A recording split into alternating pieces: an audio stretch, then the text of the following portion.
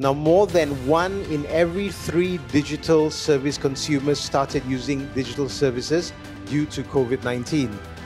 94% of new users will continue their habits post pandemic.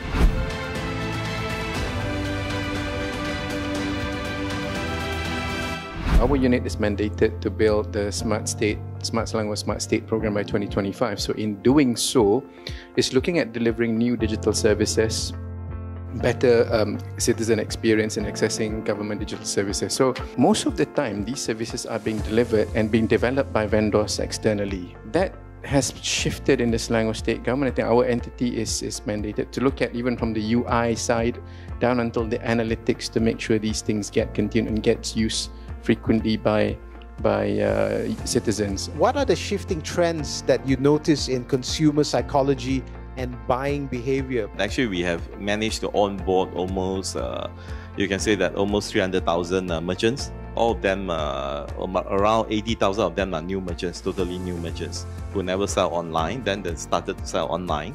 So the sales uh, result actually increased by twofold or threefold. Then, of course, the seller, uh, the merchants wanted to increase their business. They want to know how to do digital marketing.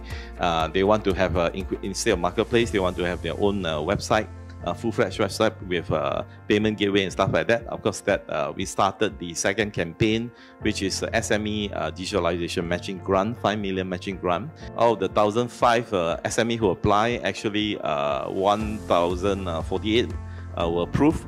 Um, so they started to focus on five areas: uh, the uh, payment gateway, uh, the e uh, cloud accounting, HR uh, payroll, uh, CRM, and also in, including e-commerce digital marketing as well.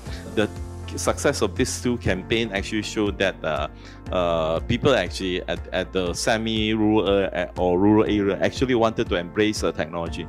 So it is the opportunity that we managed to talk to them, convince them, and then assist them to actually adopt the technology. I think that that's important. So outlining efforts and innovation in the mobile app management lifecycle and the framework for a competitive app to attain and retain the end user. How important is it? We have built um, something called Citizen e-payment. So in that in that in that application, we have paid government services. We've got listing of SMEs in the future, and we've got payment functionalities ranging from online to e-wallets and that sort. So I think citizens don't want to load and you know download another app so they just they just want one and and that, that's it right? There requires to be this continuous engagement between private sector and government and i think our role is to become that enabler and provide the right sorts of infrastructure. So data sharing so requirements from private sectors become known to the government very quickly and we can work to assist and facilitate you. So i think that's the the shifting trends that's happening and i think the critical infrastructure that we're building at the moment